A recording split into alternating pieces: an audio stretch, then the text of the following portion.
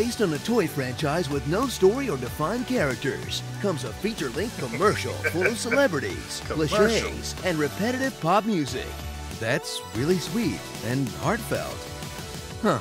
Didn't see that coming. the Lego Movie. Enter a world of unlimited Lego playsets, where characters from Star Wars, DC, Harry Potter, Lord of the Rings, and Kazaam all join together to save the world. But instead, we're stuck with this guy. Meet Emmet, a clueless suck-up who lives in a city full of mindless drones, complete with its own version of Two and a Half Men. Where am I? pants? Watch him convince the world to follow instructions, work together, and sacrifice their personal goals for the greater good of stopping the evil president business. Wait, is this movie gonna turn my kid into a communist?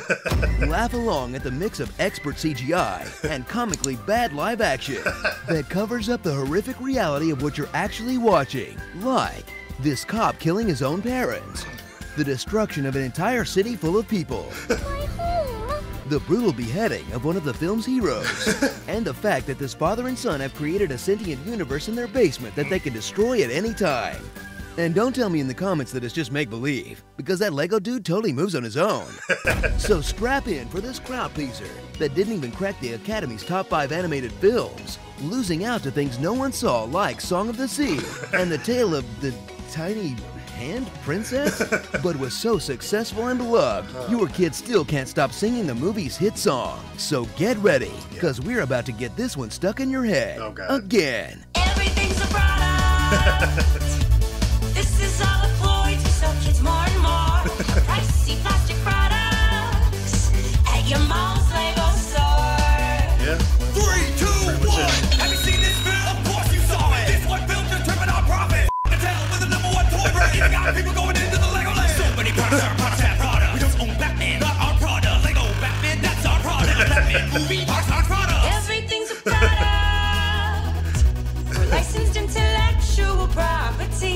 Shiny yellow products. Now give us your money. It's expensive.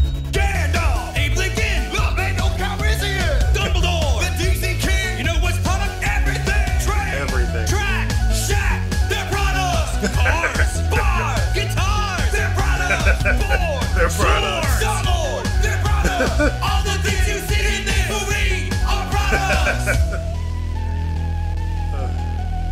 Starring Trash Chomper, Bad Cop Car Chase, The Flying Flusher, Bad Cops Pursuit, Super Secret Police Dropship, Benny Spaceship Spaceship Spaceship, Super Cycle Chase, Castle Cavalry, Rescue Reinforcements, Cloud Cuckoo Palace, The Piece of Resistance, and Emmet's Constructomech. Mm-hmm. Also starring Metal Beard Sea Cow, Metal Beard's Duel, Creative Ambush, All Double Decker products. Couch, Melting Room, Getaway Glider, Lord Business's Evil Lair, Ice Cream Machine, and Where Are My Pants Guy minifigure. the Lego commercial. Man, I kind of feel like buying some Legos right now. How about you guys? Yeah. Yeah. Jumping jacks, hit them. One, two, three. I am so f***ed up. You were found at the construction site and a strange piece. That's disgusting. And why is it permanently stuck to your I know that guy, but I know like zippy zap about him. We just f***ed earlier. I'm, I'm sorry, okay? You just. And to think I was going to f- you. You were? Okay, have bad cop me in my office in 23 seconds. Sir, can you approve this poster for Taco Tuesday? Perfect. Woo! Everyone in this room. Let me just f- the wizard and get this over me upstairs in 10 seconds? And not everybody can f- on my one couch. Introducing the double f***er couch. so everyone can f- together and be buddies. I just need to give the secret.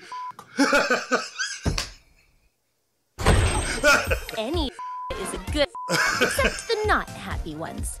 We have Oh learned my that Lord Business plans to unleash a fully weaponized Kragle on Taco Tuesday to end the world as we know it. Please, f- yourself. Yes, it's true.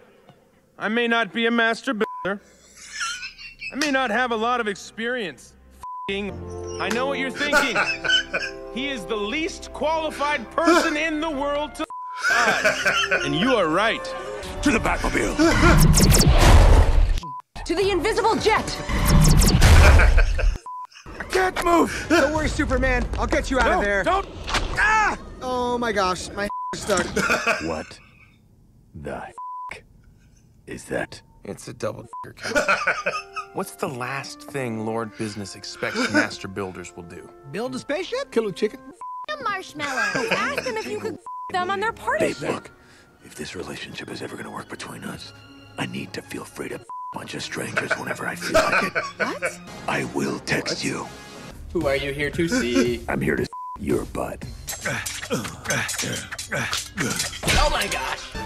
Step four, Benny and Metalbeard their way into the master control room. Motion sensors triggered in sector 12. 10 4. Today will not be known as Taco Tuesday. It will be known as Friday! No, no. Oh, no, no, no, no. Hey, don't me. Don't me. Do not me. Please. If you do one more thing, I'm going to unleash my. What is that? Is it super small? I don't see anything. I want you to take it. You want me to your off? I want you to me.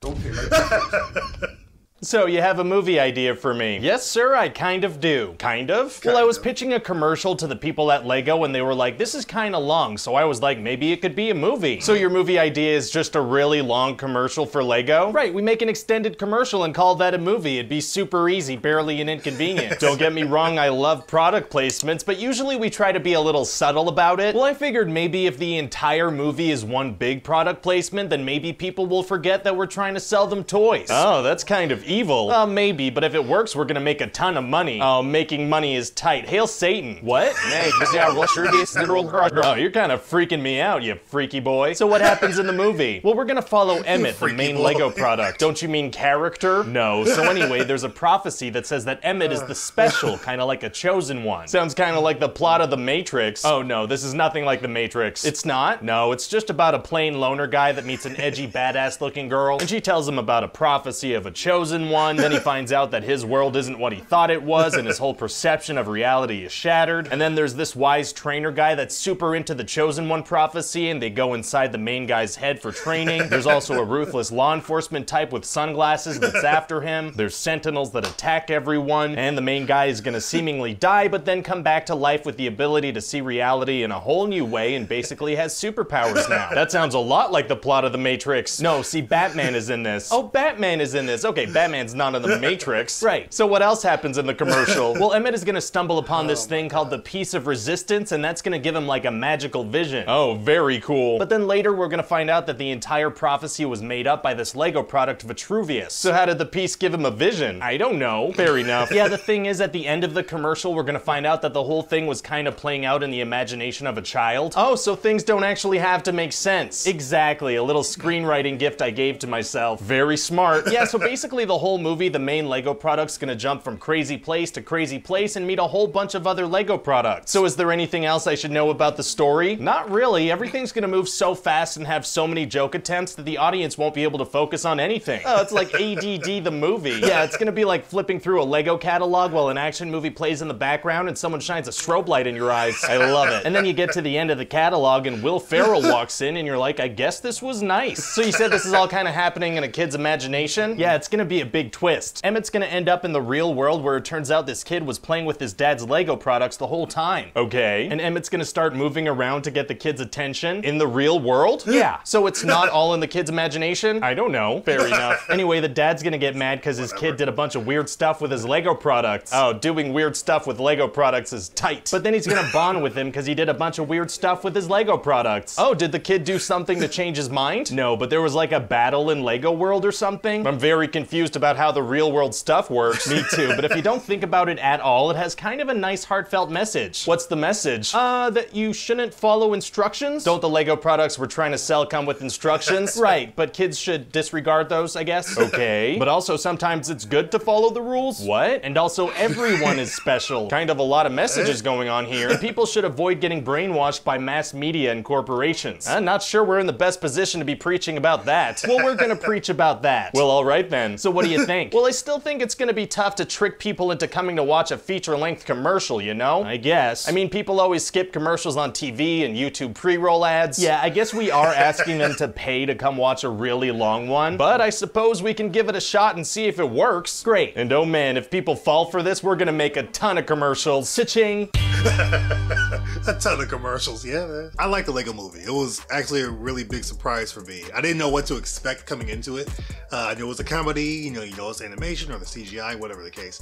But they did it in a really, really fun way, and I really enjoyed it. The second one is fun, but I feel like the first one's better, in my opinion, but we'll get to that later. If I had to choose between these three videos, though, the unnecessary censorship killed me it absolutely killed me. And a lot of times you know what the word probably is, but the character voices just make it so much funnier in the context of what they're trying to do. It's just it's it's hilarious. So honest is, it comes in last. It was good, but it comes in last. The the little rap battle that they have in there was pretty cool. The guys from Epic Rap Battles of History. Uh, it was cool seeing them in there. I gotta do more of those because I've only done one so far. But that was it was it was funny. It was good. I like how they did that. Pitch meeting obviously is always great. Just love how he goes about it. They were very similar. The pitch meeting honest trailer talking about how this movie is really just a long commercial, but the unnecessary censorship, uh, I don't know. It's just unnecessary censorship is just hilarious. it was really funny. So that's my pick. If I had to choose one, I would pick unnecessary censorship because just it's it was just hilarious. Let me know in the comments below which one you pick in this versus, which one was better in your opinion. Let me know. I'd love to hear your thoughts. As always, if you want to see more, check out some of our most popular videos on the channel. You can also check out our most recent reaction right over there. If you've seen all that, as always, then I'll see you guys in the comments. We can talk about this one.